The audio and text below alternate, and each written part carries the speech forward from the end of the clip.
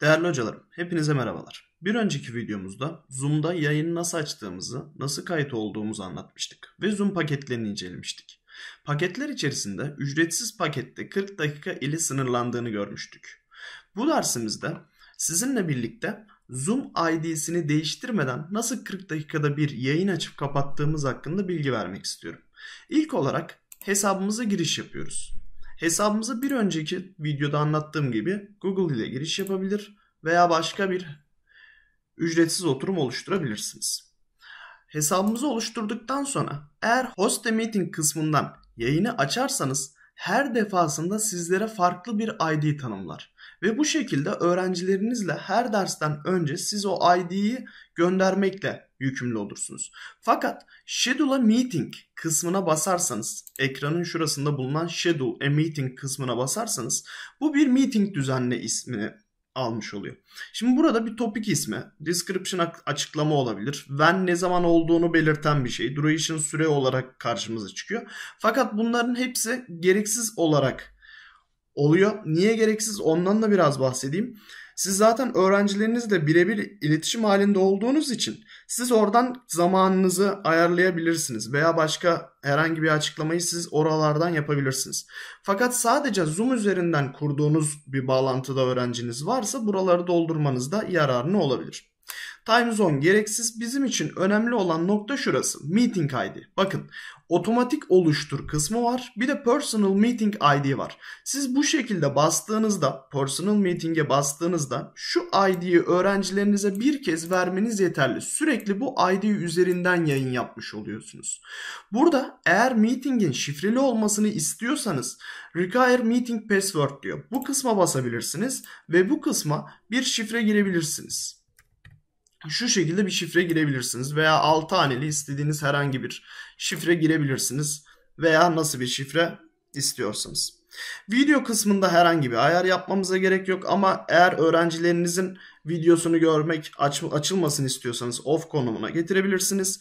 Audio kısmı ikisi de açık dursun. Daha öncesinde öğrenci host'tan önce bağlanabilsin istiyorsanız bunu seçebilirsiniz. Bütün öğrenciler entry girdiğinde sessiz olsun istiyorsanız, bekleme odası olsun istiyorsanız bunu seçebilirsiniz. Ve otomatik olarak kayıt başlasın benim bilgisayarıma diyorsanız da bunu da seçebilirsiniz. Peki kaydettikten sonra nasıl bir işlem yapacağız? Kaydettikten sonra sizin ekranınıza bu şekilde meeting ID'nizi gösteren, meeting password'ünüzü gösteren bir ekran gelecek. İsterseniz öğrenciyle bu URL'yi paylaşarak da şuradaki şu URL'yi paylaşarak da öğrencinize gönderebilir ve meeting ID, şifre girmesine gerek kalmadan derse öğrenciyi bağlayabilirsiniz. Daha sonrasında derse başlamak için start this meeting yazıyor. Peki hocam biz buraya 11 demiştik fakat saat 11 olmadı. Ben derse başlayabilir miyim? Evet. Veya 11 saat 11'i geçti, 12 oldu, 1 oldu. Derse başlayabilir miyim? Evet. Siz buradaki start this meeting kısmına bastığınızda otomatik olarak Zoom adlı programı aç dediğinizde otomatik olarak dediğim gibi yayına başlamış oluyorsunuz. Burada ekran paylaşımı yaparak da devam ediyoruz. Bakın ID'miz 995 500 0585 olarak karşımıza çıkıyor. Şimdi burada yayınımızı durduralım. Bir sonraki adım nedir onu biraz da inceleyelim. Bu videonun çevirmesine gerek yok. Daha sonradan da çevirebiliriz. Bir sonraki işlemimiz için farklı bir alternatif olarak Zoom uygulamasından bilgisayara indirdiğimiz Zoom uygulamasına giriş yapıyoruz. Buradan sign in diyebilirsiniz. Yine Google'la devam et diyebilirsiniz. Aynı adımları burada da uygulayabilirsiniz. Normal web sitesindeki yaptığınız adımları. Daha sonrasında Zoom uygulaması açıldığında Zoom uygulamasında New Meeting bölümü var. Bu New Meeting'in altında Use My Personal ID Meeting ID var. Buna basarsanız siz bu ID ile ders yapmaya başlamış oluyorsunuz. Video videolu başlatılsın mı kısmına da eğer seçmezseniz videonuzu başlatmaz. Şuradan tekrar buraya bastığınızda siz dersi bu şekilde de başlatabilirsiniz. Hızlı bir başlatma yöntemidir. Web sitesiyle uğraştırmaz. Hani daha çok tavsiye ettiğim bir yöntemdir.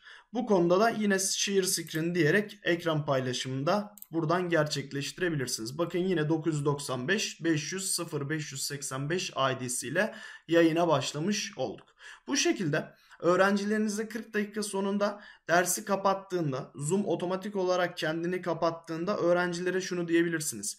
Eğer dersten koparsanız tekrar aynı ID ile bir 5 dakika sonra bağlanabilirsiniz dediğinizde her ders molasında öğrencilerinizle yapacağınız hani bu görüşmelerde sıkıntı çekmeden tekrar tekrar ID vermek zorunda kalmadan bu şekilde derslere öğrencilerinizi bağlayabilir, rahatlıkla derslerinizi yapabilirsiniz.